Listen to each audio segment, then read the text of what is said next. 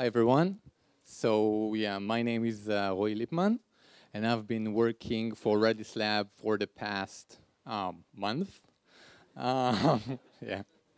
Uh, I would like to introduce to you a project that I've been working on for the past six months, uh, mostly on, uh, on my weekends. Uh, it is a graph database built as a Redis module, so you could say it's a Redis, it's a graph database built on top of Redis. So one question you might want to ask yourself is why even bother?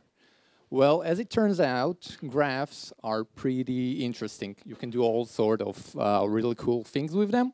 So here's just a number of examples uh, which are um, ways of using graphs. So for instance, social media are using graphs to maybe introduce you to some people that you might know.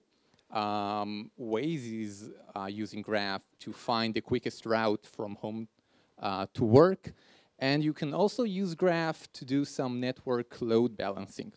So uh, yeah, it's pretty, pretty interesting, the things that you can do with graphs. So now that we have Redis modules, we can use it to introduce a new data structure, the graph. So uh, I would like to talk a little bit about the concepts, the basic concepts of graphs uh, within uh, my Redis module. So uh, the most basic entity we've got is the node.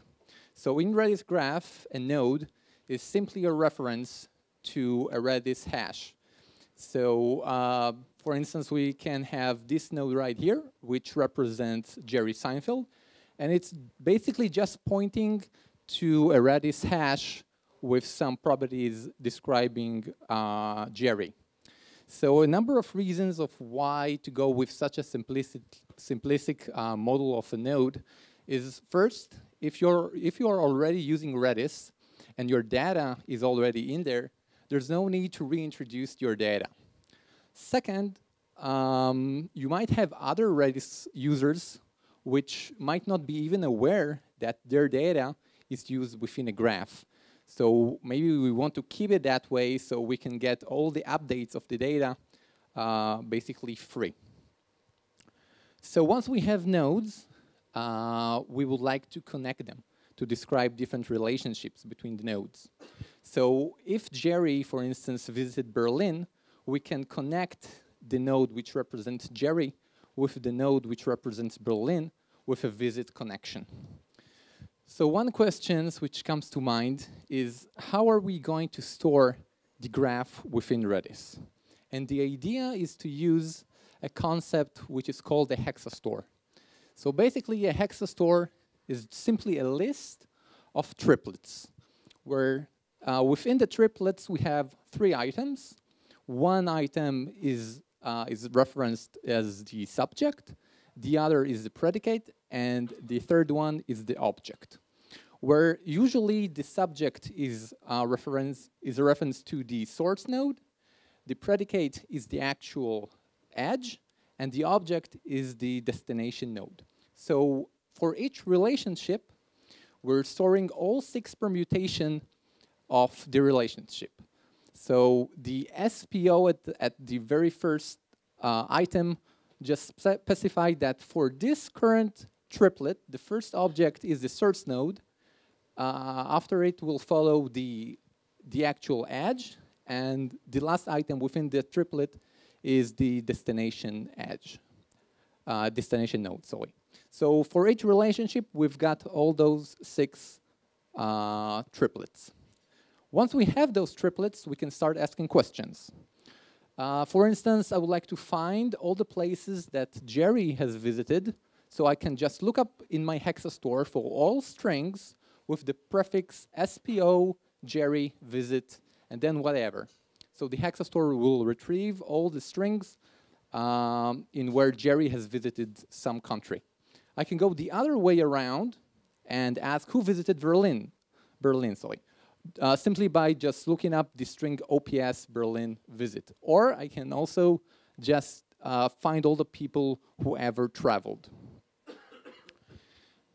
All right, so at a pretty early stage of the project, for it to be really useful, I had to uh, come up with some query language to allow the user to actually query uh, the graph.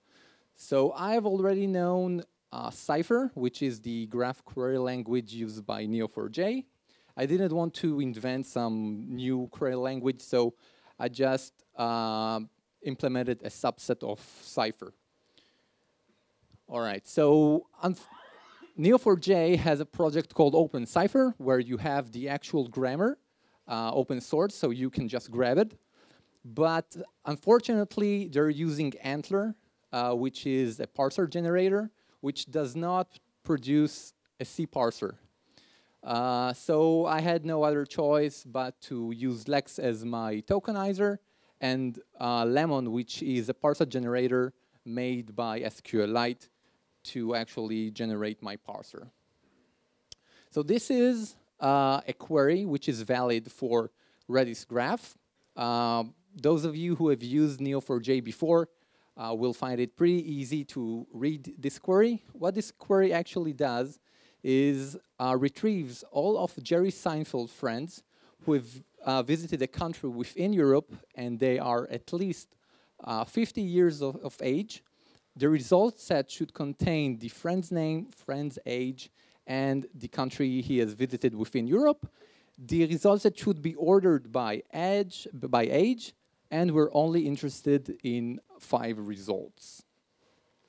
So what I would like to do now is take you through the steps of what the module actually does when a query is presented to him. So once we've got the query, we're running it through the Lexer, uh, the Lexer is generating uh, tokens, which are consumed by the parser. And if the query is valid, we're given an abstract syntax tree. So the four main nodes within our AST are referencing the match clause, the where clause, return clause, and order, and we will process them by order. Starting with the match clause. So um, the query that we're uh, looking at is this one. Um, so the match clause. We're interested in friends of Jerry who have visited a country within Europe. The match clause has three nodes within it. The only one with, ID, with an ID is the node representing Jerry. The second node represents all of Jerry's friend. And the last node represents all the countries who have been visited by friends of Jerry. So we will start by finding which uh, are the, the entities who are friends with Jerry. We'll simply look up our hexastore, looking for the strings with the prefix SPO Jerry Seinfeld friend, and we're getting two results. One is Cosmo Kramer, and the other one is George Costanza. So let's see if uh, Cosmo Kramer is valid, is um, a valid uh, result record. So updating our graph, we, we've placed Cosmo Kramer as our friend. And from the where clause, we're constructing a filter tree. Uh, our filter tree currently only contains uh, an end condition for age over 50, at least 50, and continent within Europe. All right, so let's see if Cosmo Kramer passes the filter tree. Uh, as it turns out, Cosmo is only for, uh, 48 years old, so uh, the age validation is not valid. We can disqualify Kramer at this stage. So we will try to see if George Costanza, George Costanza passes the filter tree. Updating the node to represent George. See if, if George passes the uh, filter tree. As it turns out, he is 52 years old, so uh, the age validation is valid, but we have yet to discover which countries uh, George has visited. So we will be optimistic and, said, and say that for the time being, George passes the filter tree. Moving on, finding all the countries uh, George has visited, looking up within our hexastore, we can see that George has visited both Italy and Cuba. So updating the graph and once again consulting with our filter tree, we can see that, yeah, indeed, all of the conditions are indeed valid. So looking at our return clause, we, we can see that we're interested in the friend's name, friend's age, the country that that friend has visited, and we're only interested in five result order by age. By age. So we will use uh, a heap data structure. We'll place George uh, at the top and continue consuming all the other results. Eventually, this heap will be our result set. So currently, what is supported within Redis Graph? So we can do a multi-hop or multi-entry point queries. For instance, find me all the actors who have played with uh, Nicolas Cage. Uh, we can do aggregations. Uh, for instance, we can do max, min, count, average. Uh, we can also do order bys and distinct. Um, current benchmark is 150,000 inserts per second. And for a simple query, we can do um, 1,500 simple queries per second. There's a lot of uh, things to uh, be made. Uh, as I've said, this is only a subset of Cypher.